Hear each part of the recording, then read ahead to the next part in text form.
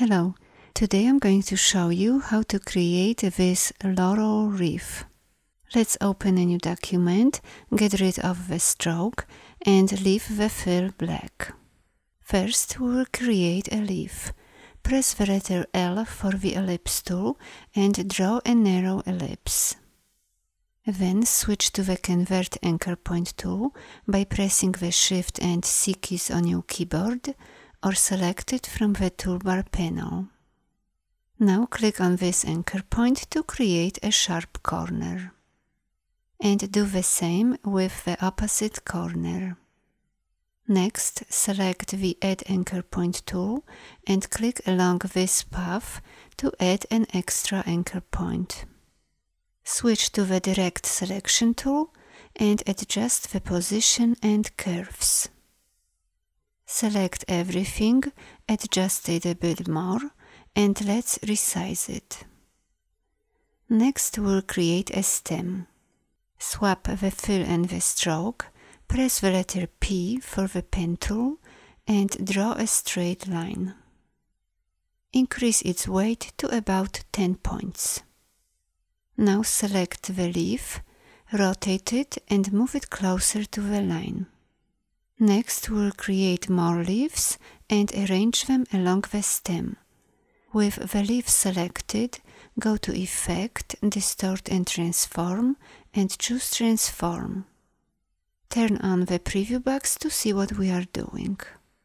Here you can experiment with different values to get the effect you desire. Let's change the copies to 16 and the horizontal move value to about 52. Then we need to reflect every other leaf to the top. To do this, select the Reflect Y option, then highlight the vertical value and using the down arrow key on your keyboard, adjust the number. Highlight the vertical scale value and adjust it as well.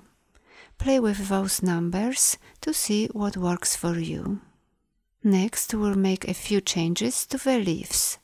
First, go to Object and select Expand Appearance.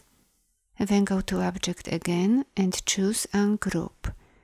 Go to Object one more time and Ungroup again.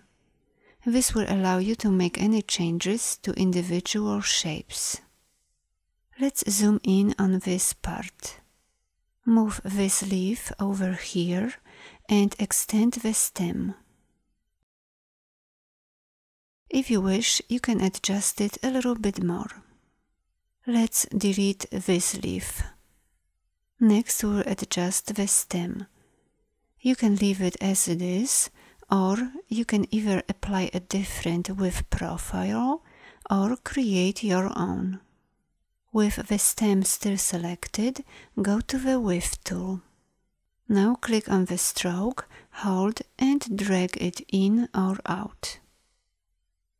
To learn more about the Width tool and how to use it, please check out my other tutorial.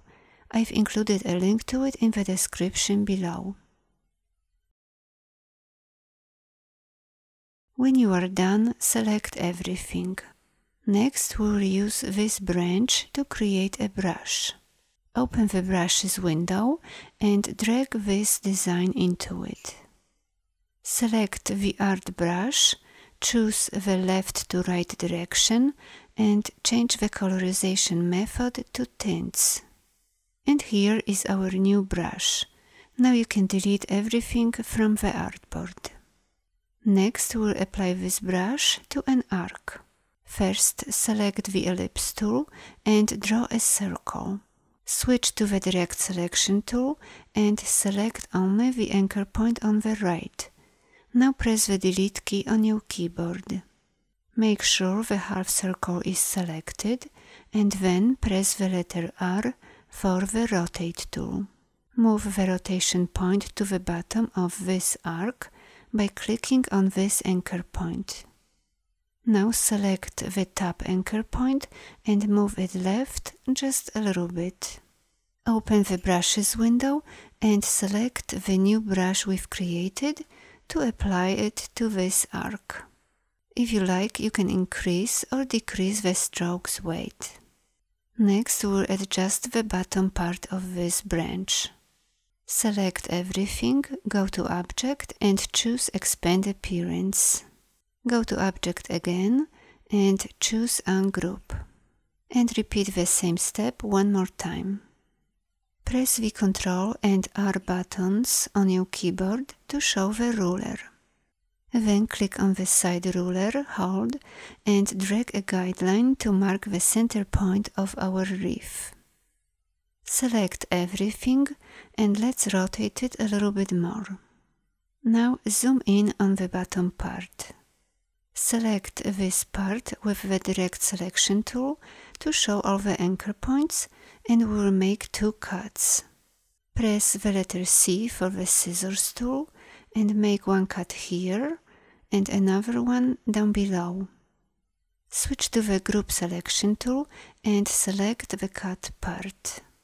I'm going to change its fill to a bright color so it's easier to see. Next we'll reflect it and adjust its shape. To do this, press the letter O for the reflect tool or select it from the toolbar panel and then press enter. Now change the axis to horizontal and click OK. Let's rotate it and change its position. Finally, we will connect it with the stem. First, switch to the direct selection tool and select this anchor point. Then, holding down the Shift key, select the top anchor point of the other shape. Now press the Ctrl and J keys on your keyboard to join them together. And let's do the same with the two bottom anchor points. If needed, adjust the curves. Make the sharp corners smooth, delete unwanted anchor points, and make any other adjustments to get the look you desire. Select the top leaf, then right click with your mouse, choose Arrange and bring to front. Select the stem and change its fill to black. Next, we'll reflect it to the other side and create a copy. Select everything, group it together, then choose the Reflect tool and holding down the Alt key, click on this guide to set the reflect point. Choose the vertical axis and click Copy. Select everything, group it together, hide the guide, and you can leave it as it is or you can add a background. First open the layers panel and create a new layer. Move it to the bottom and make sure it is selected. Now draw a black rectangle to cover the artboard.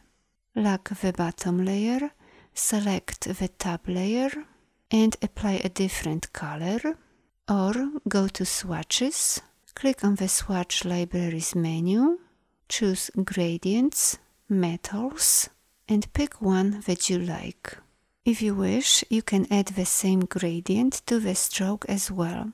Just click on the fill, hold, and drag it into the stroke. Now adjust the gradient and the stroke's weight as desired.